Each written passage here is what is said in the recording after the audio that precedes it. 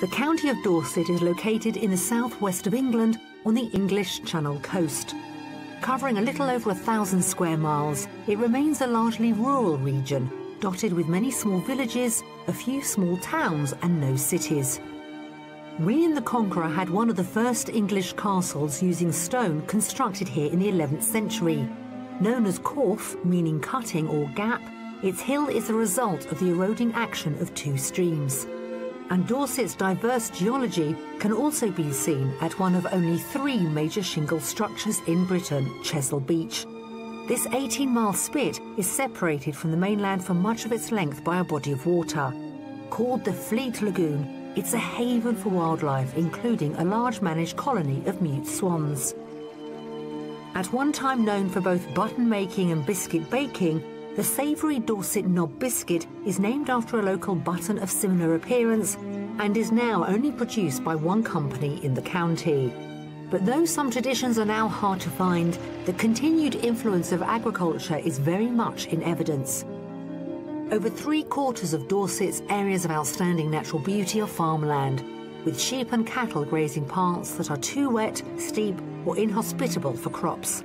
So, whether you're after a nibble on an elusive savoury knob, a romp around the ruins of a castle, or just somewhere to sit down and admire the view, Dorset is a gorgeous county to plan an escape to. So let's cut to the chase. Buying property in Dorset comes with a hefty price tag. The average cost of a detached home here is around £357,000.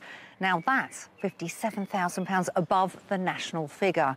So buyers, it seems, are willing to pay a premium for the beauty of Dorset's countryside and coastline.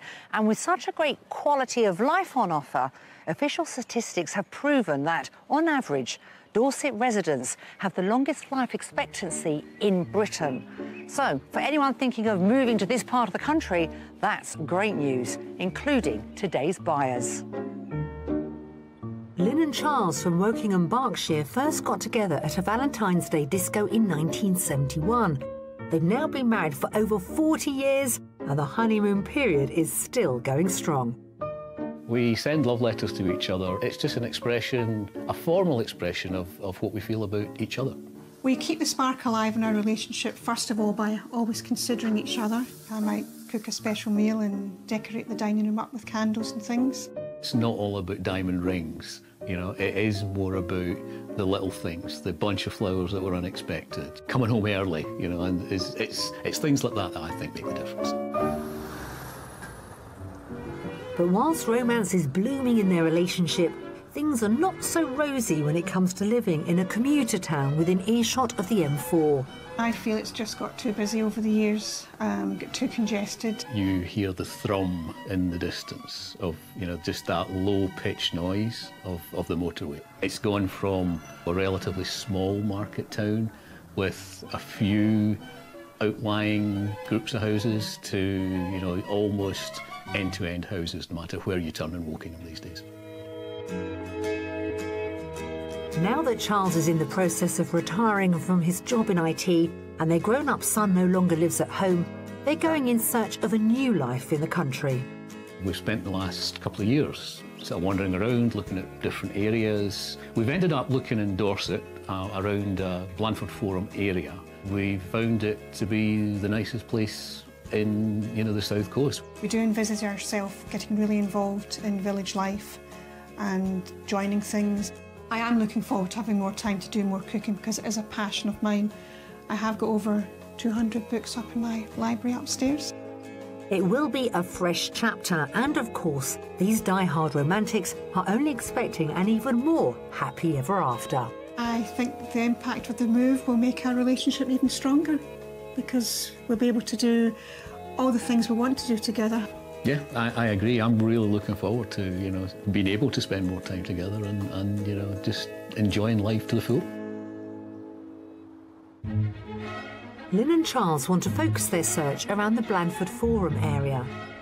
There have been some exciting recent developments in their house move, so we're meeting in Dorset to discuss what they want for their new home. Well, Charles and Lynn, welcome, a very warm welcome to Dorset today. Thank you very Thank much, Vicky. I think it'd be fair to say time is of the essence, wouldn't it? It is, yes. Am I right in thinking you've sold your house in the last month? Correct. Charles has retired Yes. in the last month. And you've moved to Dorset and you're now renting? Yes. That is extraordinary. That's what I call commitment to the cause. We just took it on and said, right, let's do it. And you're very close as a couple, aren't We you? are, mm. yes. I'm going to call you the sweethearts. I know you've been married for a long time, but it's so lovely to see, very much in love. But I'm going to introduce somebody else into this marriage, hopefully, and that mm. is your next property. Right. There's going to be good, three yes. of you. Yes, Yes. You look that's worried fine. there for a minute. so, what are we looking for with this property? We'd like four bedrooms if there's no separate dining room because we do dine formally every night. A good sized kitchen because I'm passionate about cooking. If possible, an ensuite like we had before. And it would be nice to have some additional extras like a conservatory and a utility room, but we're in your hands because you'll probably show us something we never ever thought of looking for. Oh, that's Yeah. great to hear. So- you want to be stretched, do you? we you? do, yes. I want our imagination stretched. Uh-huh. Do you want to be remote? Do you want to be close to a community? Yeah, we, we need a bit of community. I mean, we don't want to be isolated in the country. We want other people round about. We want to be part of a village life. Can we agree on the budget? Remind us of our top amount today. Um, 500 to 530. right. And that's for the perfect home. That would have Yes. to be absolutely perfect. Feeling the pressure, but we're going to rise to the challenge. So, shall we jump in the car and get started? Oh, yes, please. I can't Right. wait. Let's Great. go. So, for a maximum budget of £530,000, Charles and Lynn's Dorset dream home includes a large kitchen, a dedicated dining room, and four bedrooms. They'd also like a conservatory, utility room, and access to village life. We've got an incredible selection of houses to show them, which could really offer that imaginative spin on their wish list. At each, I'll be getting them to guess the price before I reveal it. The final tour will be our mystery house, which could just give rise to split opinions. We're starting our search in the small village and parish of Woolland. Three and a half miles away, the larger village of Ansty provides a pub, farm shop, and post office facilities.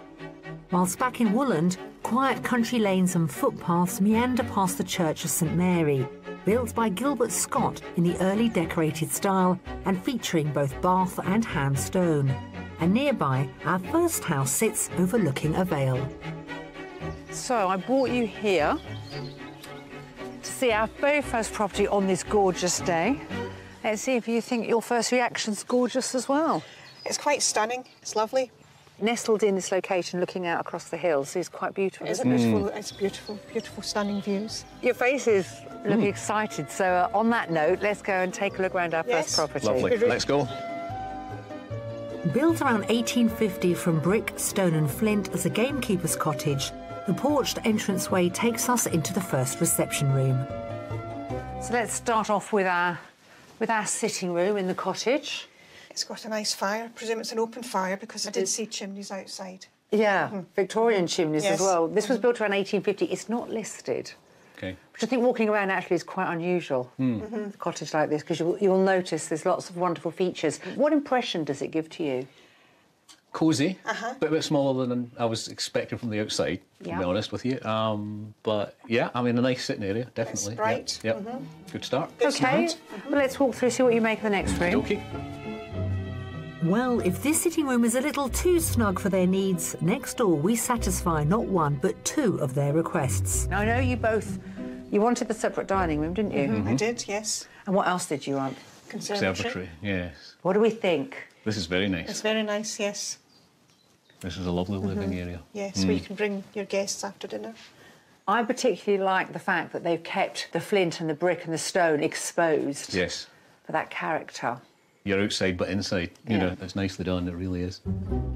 The conservatory sweeps around this corner of the house past a useful utility and into that all important kitchen. Just through here. It's nice. I would have liked it slightly bigger. I would have liked a bit more floor space, a bit more cupboard space. But it is very nice. I like the, the breakfast bar idea. I'm worrying about these 250 cookery books we've got to find you a and home me for. both. Don't worry, I'll find somewhere for them. Is this workable, do you think? It's workable. So, be- bijou, small Yes, but perfectly uh-huh, formed. Yes. Yep, Bit yep. like myself. Always gorgeous. right, let's see what you think of the bedrooms. Yes. Right. Well, they do say good things come in small packages, so let's see what they make of upstairs. Here, a bathroom with shower cubicle and roll top bath serves the two bedrooms. The first is a small double, and then there's the larger of the two. Right. Uh, master bedroom.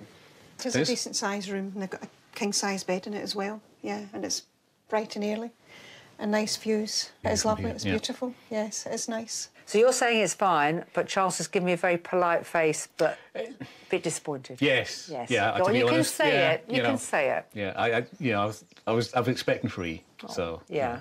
But You're that- such a that's fine. gentleman, aren't you? I try. Oh. well, I've still got one more thing to show you outside, so Yep. if you wouldn't mind leading the way Yep. back Mhm. downstairs, No problem. we'll hit the garden. This country cottage is packed with period features, and outside there's more to persuade them to overlook the lack of guest bedrooms. Three quarters of an acre of grounds include lawn and specimen trees, as well as decking for alfresco dining. There's also a detached double garage and a versatile additional outbuilding. This is this is nice. The, It's the nice. outside space is beautiful. It's beautiful. It really is. Beautiful yeah, definitely location, outside. yes. Yeah. Well, let's see what you're going to make of the price, Hmm. shall we? First time. Mm-hmm. Who would like to hazard a guess? I would say about 480. Okay. Okay, I'm thinking a bit less. I'm going to go 460. Okay, well, the house has only just gone on the market. Mm-hmm. I think you're going to be surprised with this. The asking price is £525,000. All right. I didn't Office expect in that region. Didn't expect that much. No, I didn't expect that no. either. It does give you a, a rough guide of the pricing Mm-hmm. in this part of Dorset. We're in quite an expensive part. Mm-hmm. Yep. But do take the opportunity this time to have a look on your own, and then I'll catch you when you're ready. Okay. Okay, thank you. At the top end of their budget, this former gamekeeper's cottage comes with plenty of period appeal, with feature fireplaces, a dedicated dining room, and a conservatory. There's a three quarter of an acre garden and gorgeous valley views. As a first viewing, this was a wonderful start, yes. It was more than I expected. When I first walked up the garden, I thought, wow. It had the conservatory, it had the utility room. I did like the bathroom, it was beautiful. Uh, and the gardens were just lovely. The house is lovely, beautifully done inside.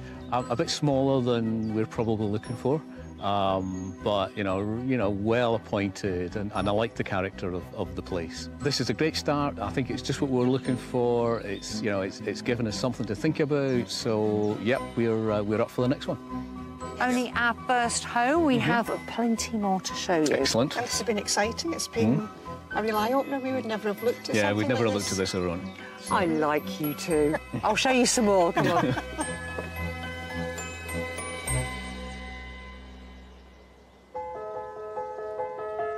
It's not just the natural landscape that gives Dorset its beauty.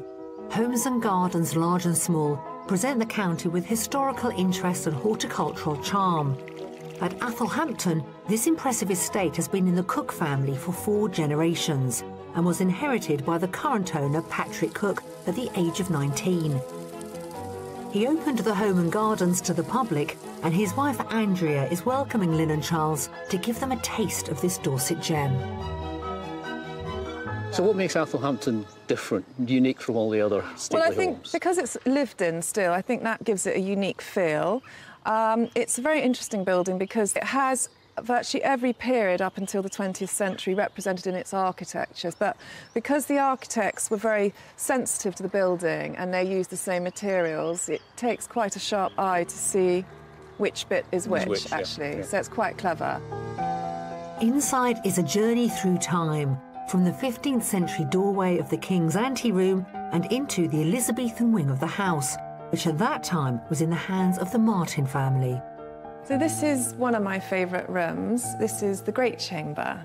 By this stage, people were starting to think about more about the kind of niceties of domestic setting and hence the beautiful windows. So, what is the significance of the monkey in the stained glass window? Well, the monkey is the emblem of the Martin family, and there's rather a sweet story about him because he is supposed to haunt this room and he's supposed to be trapped in our secret passage. So hopefully the mechanism's Oh, right. working. Oh, my goodness me.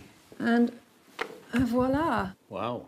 So there are all sorts of theories. We don't know whether it was a priest hole. Possibly there was. It was maybe used again to hide royalists, but we rather love it. As well as being a curious treasure trove of historical conundrums and interest, Athelhampton features 20 acres of gardens, laid in the 19th century Italianate style. And today, Andrea's husband Patrick is in the grounds tending to the topiary. So what's the history behind the pyramids? Well, they're about 120 years old. Uh, originally, they were at the corners of rose beds. But two world wars, the rose beds got taken away and the trees just got bigger and bigger. The yew trees receive a more vigorous cut each autumn, but at the beginning of the summer, it's time for a trim. And all we do this time of year is just tidy up any small imperfections in every side. 4,000 years ago, the ancient Egyptians were creating box hedges, whilst yew cutting was brought into fashion in England during the reign of Charles II. But with 12 giant pyramids to tame here, a petrol-driven tool makes the job a lot less daunting. Lovely, Charles, you're a natural. Thank you kindly. You're booked for the other 47 sides. Excellent, I'm on. For those with more modest plots, head gardener Mark Evis has a simple technique that can create a pretty feature on a much smaller scale. so what are we planting today then? Uh, I'm planting sweet sweet peas. Um, this particular uh, sweet peas called Beaujolais. Beaujolais, oh, Um, the there's a new one that we're trying. So what you do is carefully take the sweet peas out Yep. and carefully pull them apart. The seedlings are placed inside the pyramid as a net will be put on the outside to ward off slugs and other pests. This is a nice idea. Give us some nice ideas for our new garden, whatever Lovely. that might yes, be. yeah. Oh yeah. Well, it's back to tending to Charles and Lynn's property search as we look for fertile grounds for them to lay down their own roots here in Dorset. Our next house is located in Iwerne Minster. The writer Virginia Woolf stayed in this quintessential English village in the 1920s and wrote of her enchantment with the landscape. The post office doubles up as the village shop, whilst the pub offers luxury accommodation and food as well as pints. Dating from the 12th century, St Mary's is described by Pevsner's architectural guide as the most important and interesting church in the neighbourhood. Within view of its spire, the property we've come to see is located in a residential complex which started life as a farm. Here is our second proposal for you, our second home. There's about 30 properties in total here. So we're offering you a very different way of life because it really is part of a community. A mm-hmm. community, shall we say, over a certain age. Right. That's fine. Yeah? Like a good vintage wine, yes. so, had you ever considered anything like this? No, No. is the short answer. Right. Intrigued, fascinated? Yeah, intrigued, yes, I think. sure. Yeah, I think that's a good it word. looks like inside, yeah. Okay, mm-hmm. all right, well, then let's start. Yes, on we go. A somewhat lukewarm first impression to this detached property, which was the original show home of the development. Converted from a century old farm building in the 1980s, it has a rather unusual footprint, with a front door leading to a central hallway where we begin our tour. Right. I think this is nice and light and bright and airy, and I like the staircase. That's Yeah, that absolutely staircase is beautiful. That is yeah, really beautiful. it really yes. Mm-hmm. is gorgeous. Yeah, it's much bigger inside than I was expecting. Really? This is a little TARDIS. Isn't it? And look at our geography while we're here, because from the outside, it doesn't give you any indication. No. no. We have a downstairs cloakroom. We have a conservatory, which the current owner, because they wanted a separate dining room, they have converted. Right. And then down this hallway here, we have a downstairs bedroom with an ensuite bathroom with bath and shower. better. Lovely.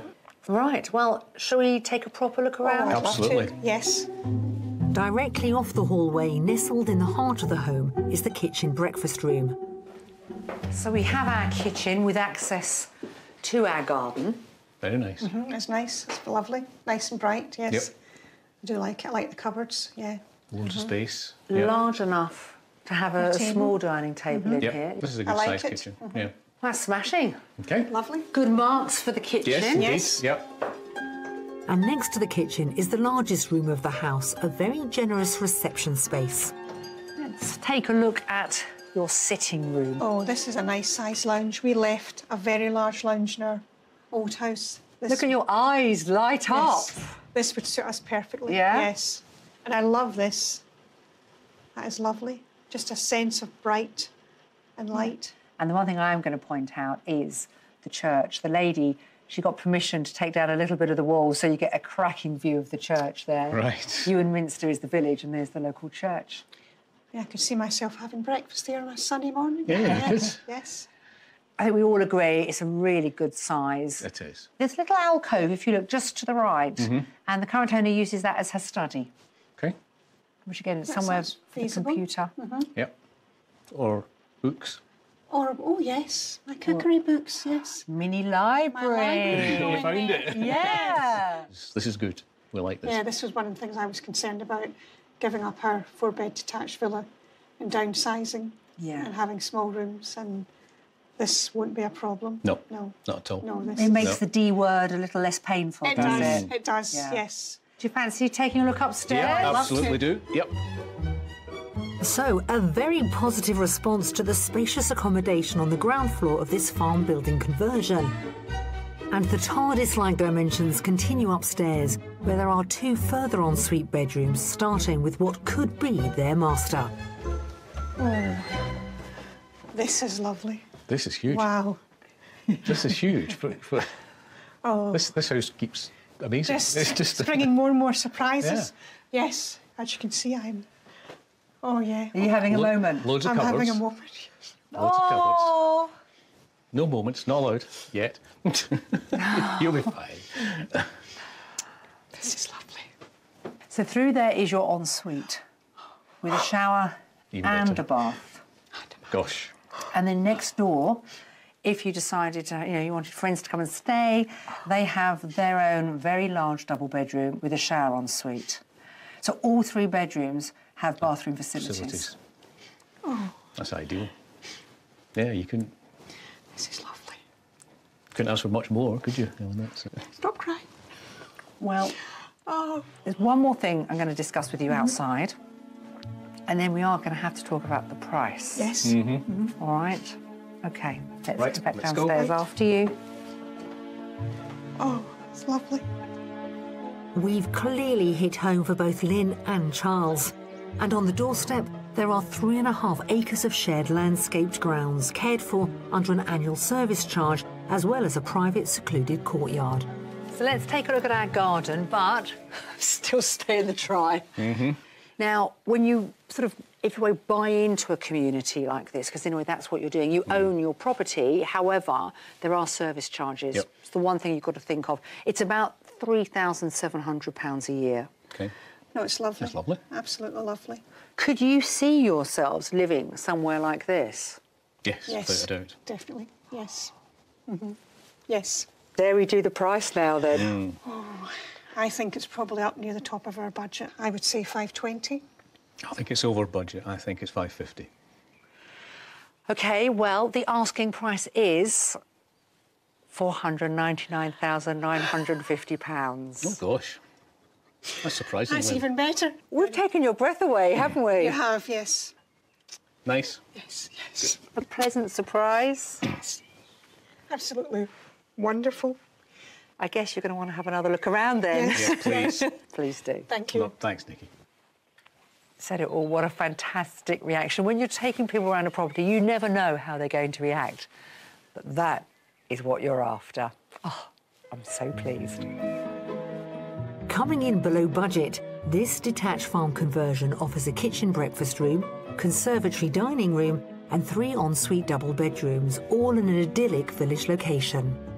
It's a house that we probably would never have thought of looking at ourselves. I know we said we wanted to be part of a community. We weren't thinking of a retirement community when we said that. Um, but you know, having seen the place and seen the house and seen the area, um, you know, it's it's changed our mind. It met my expectations actually above and beyond them. Just fantastic. As soon as we walked into the hall and I saw the galleried landing, the big lounge, I just felt, yeah, this is where I want to be, yeah. I'm very happy with what we've seen today. I think we have taken a step closer to finding our next home. I really do, yes. What a brilliant reaction to our house tour. Right, prepared to come out in the rain? Yep. Happy faces, tears of joy. Mm-hmm. What a way to end the day. Wonderful. Yeah, you Great. love that house. We did. Let's hit the Let's road. go.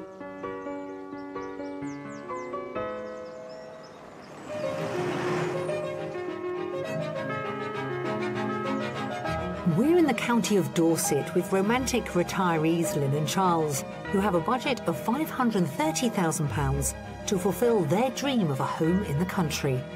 What they've seen so far has taken Lynn's breath away, but our mystery house is still to come, and it could end up being top of the class. Can you imagine yourselves in this room? I can. Yeah, possibly. Mhm. Plus, I'm finding my way with Dorset's heritage finger posts. Give it a bit of a wriggle first, see if it feels loose, and then it should just come off. No! Now, we know that Charles and Lynn are serious about moving, so much so that they've put their house on the market, sold it, already moved out, and are now renting here in the county.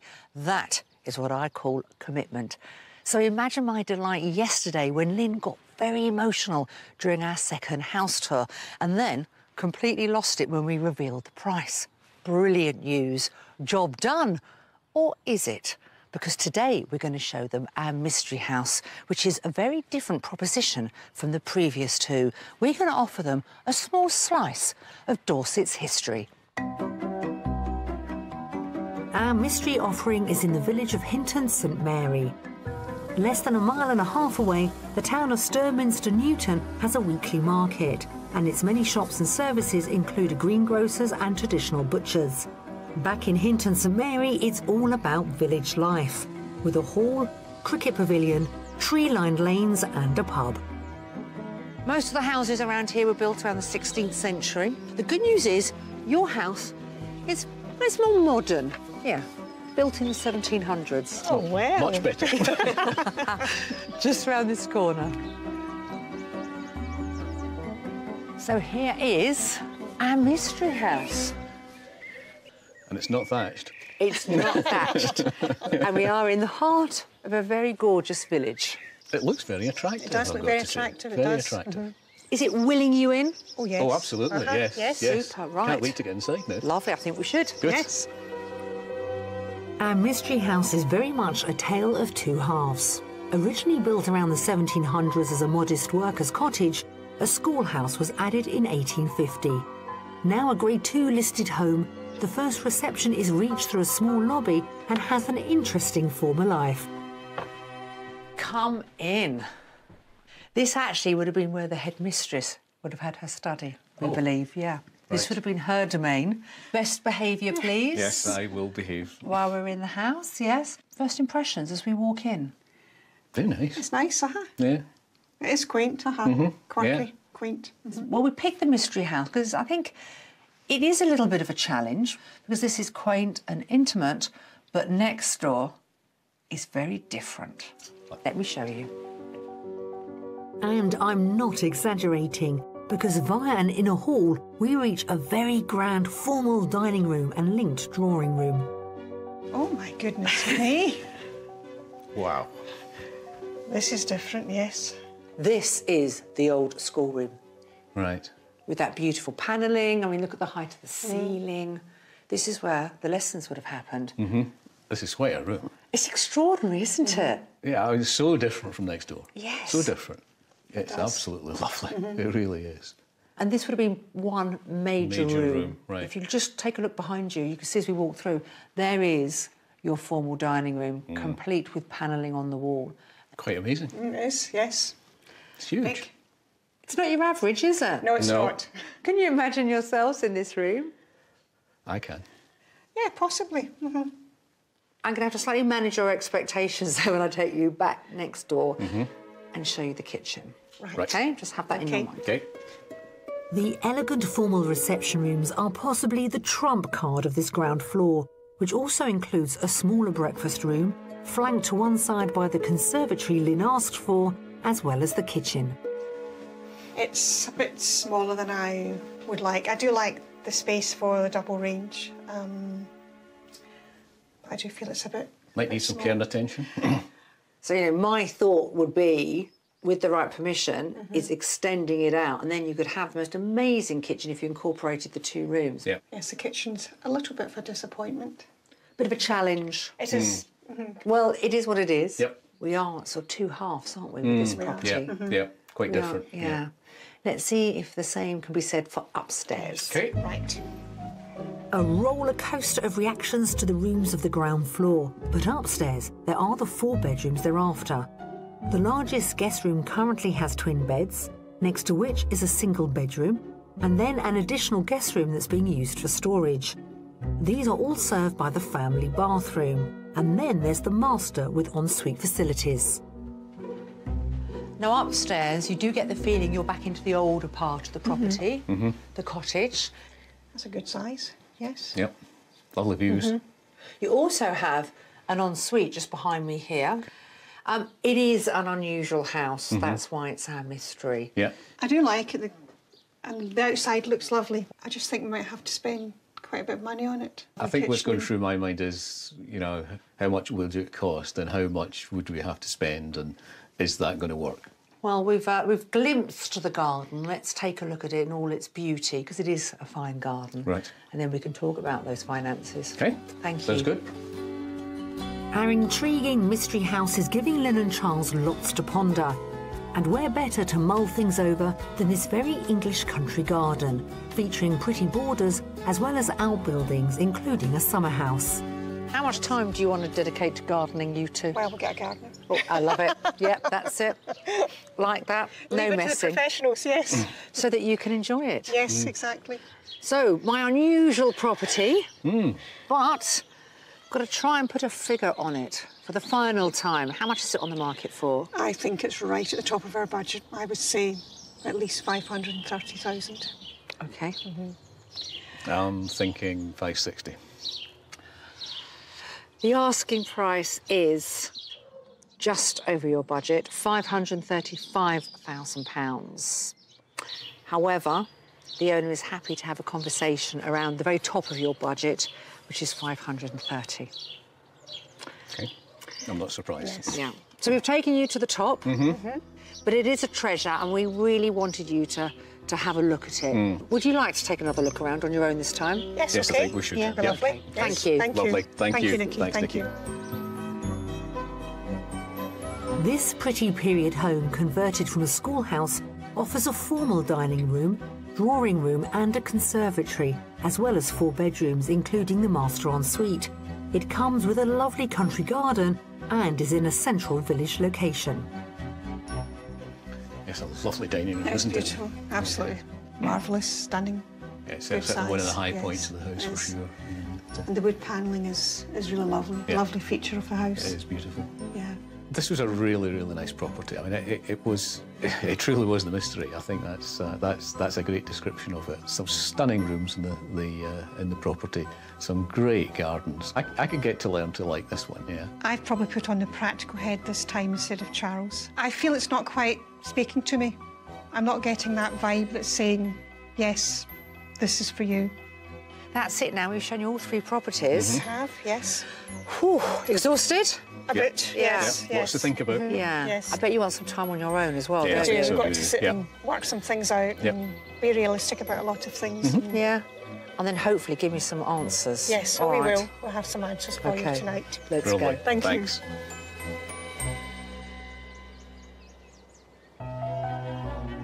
Dorset's higgledy-piggledy lanes can make route finding a real challenge. So since the 17th century, a system of finger posts has been used to literally point the way. There have been up to 1,200 of these distinctive posts in the county, only temporarily removed during World War II in the hope of confusing potential enemy invaders. And this historic signage is once more under threat. Three to 400 signs have been lost, and a further 400 are now in need of restoration. So a countrywide community initiative is hoping to save them. And I'm here to meet Catherine Wright from the organisation at the forefront. So why, in your opinion, is it so important to keep this tradition alive? Well, the organisation I work for, the Dorset Area of Outstanding Natural Beauty, is all about conserving and enhancing the special qualities of the county. One of the special qualities are our unique finger posts, and by restoring them back to their traditional standards means that we are bringing back that local distinctiveness to the county. What makes ours unique is the special roundel on the top. You might recognise it as it looking very similar to the London Underground. Yes, the tube. Yes, and that's where the design was had come from. Each roundel has its own number, giving the grid reference of an Ordnance Survey map. It may seem archaic to the GPS generation, but this old school technology remains crucial around these parts. In a way, these signs are the sat nav of yesteryear, but you also want them from the future as well, don't you? A lot of sat navs don't work around this rural part of the county, so they're they're vitally and needed for our for our area. And is this post a good example? The good part of it is it's still got its unique roundel on the top. The not so good thing about this sign is, unfortunately, over the years, it's been replaced with metal arms with stick on letters. The traditional ones are oak with cast iron metal letters. Around 400 volunteers are helping to repair and raise funds for replacement signs. And Catherine's taking me to meet one Dorset local who's using his skills as a sculptor to help return the post to an authentic state.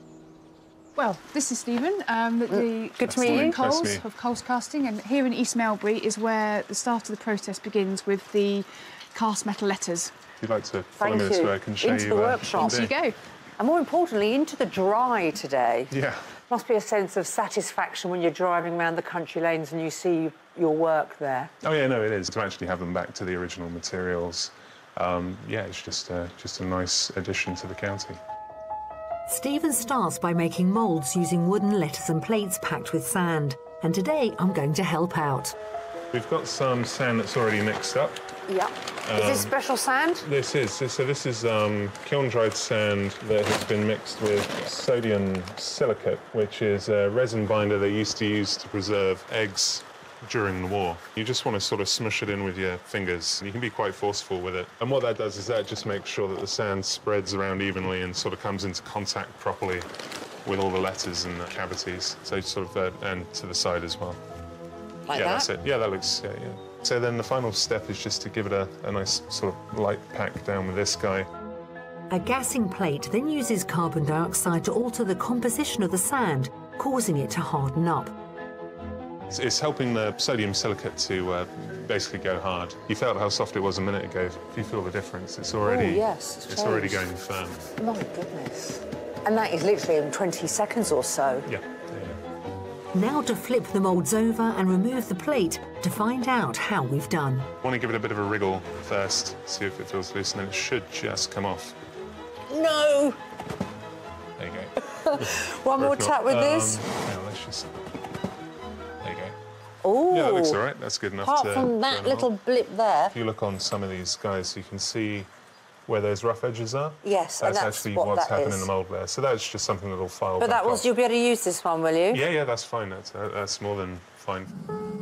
Metal is then melted and poured into these moulds. It's all recycled aluminium taken from old ladders, greenhouse frames, and drinks cans. These cast letters will be cut out, filed, fixed to oak boards, and painted. And today, Catherine's dad, Roger Bond, is leading the fixture of Dorset's latest replacement post. This is it, the finished thing. The This finished first- finger post. First of four arms. It's like a jigsaw puzzle. Yes, yeah. It's good. It's very clever the way it's put together. And obviously, you've got to make sure in is pointing in the right direction, haven't Well, you? Otherwise, we'll be in trouble with the locals. You will. But there's one thing missing, isn't there, Catherine? One very important thing missing. I learnt this. The roundel on the top. Is that correct, sir? That's absolutely right. Shall I get it? Yes, please. Yeah. Right. This is exciting. And look at that, the crowning glory. Brilliant. Brilliant. It looks amazing. And if you're escaping to the country, you have no excuse getting lost here in Dorset. So, how do you think we've done? Because it's not every day one of our house buyers is reduced to tears, but buying a property, it can be an emotional business. So, in the cold light of day, are they really committed to our second property? And if they are, do you think they're going to put in an offer? I'm going to ask them.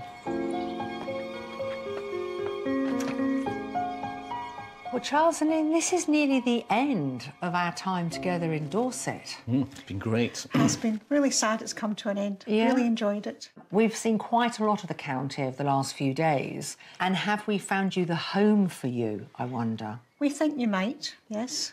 We're hoping to go back, uh, at least speak to the estate agents about house number two. Do you like the idea of living within that community? Yeah. I mean, I think that's probably the one thing we need to explore a little bit is what would living in that community be like? Yes. So, hence, going back, spending time with the estate people, probably chatting to some of the neighbours, Yeah. and just finding out what you know life is like there. And are you hoping to do this in the next few